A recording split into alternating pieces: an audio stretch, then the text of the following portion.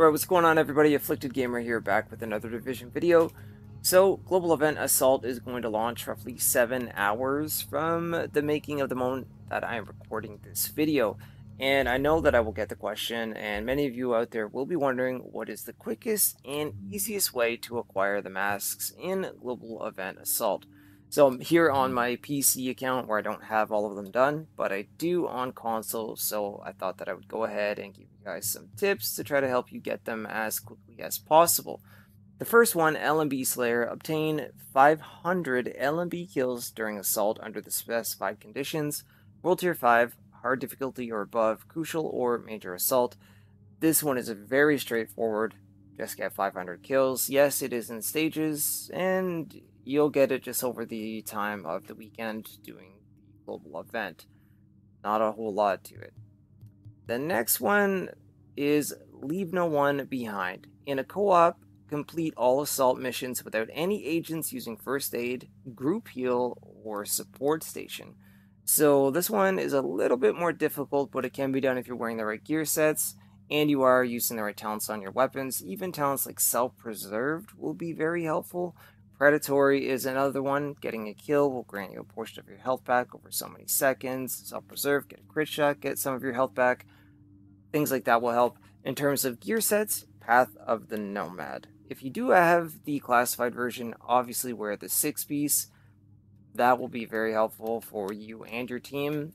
And if you are running in a group that is communicating, which I do recommend, especially for Falcon Lost, if somebody's a tactician, go ahead and put up turrets, seeker mines, use skills that are any form of offense to keep you away from the enemies. That way you have less of a chance of being downed and you can go ahead and finish this without having to use any form of healing skills.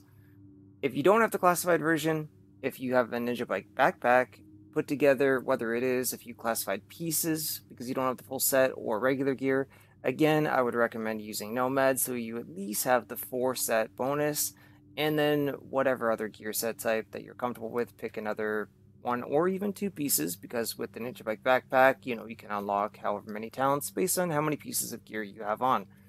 If you're so new to the game that you don't have either one, hopefully you'll have at least a relentless backpack where when you have a deployed skill and you do get a kill, you will get a portion of your health back from that alone. So any way that you can get your health back, that is a bonus, and that will go ahead and get you guys the Leave No One Behind mask.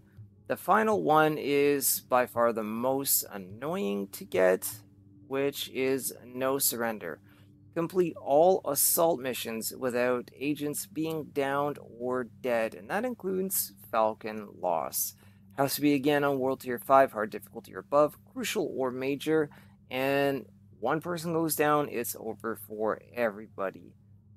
The same thing is going to apply from the other mask for the Picky mask. I honestly would be wearing gear sets like Path of the Nomad to keep yourself going. If you're running in a squad of four, especially for things like Falcon Lost, if you do have a tactician, great, but you can use med skills. So a reclaimer build would be nice to have yourselves up and running all the time, even two if you want to, and at least have two people that can do a lot of damage.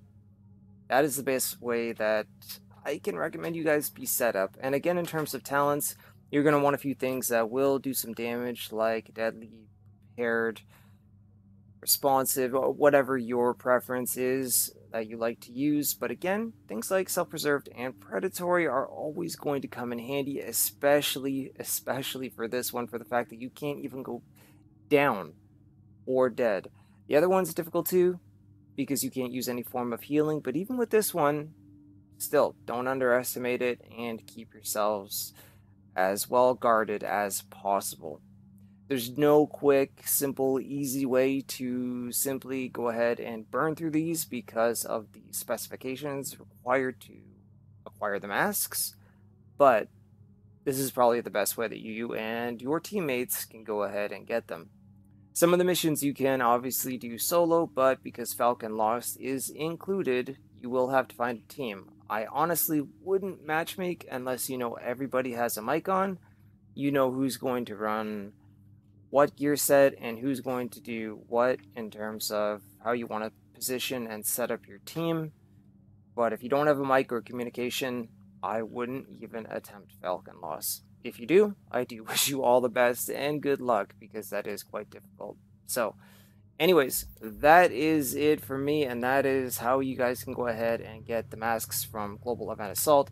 Any other questions or concerns, leave them down in the comments below. If you found the video helpful, drop a like on it, it's much appreciated. You can follow me on Twitter at Afflicted Gamer. Stay in touch with me, ask me any questions you like again on there as well.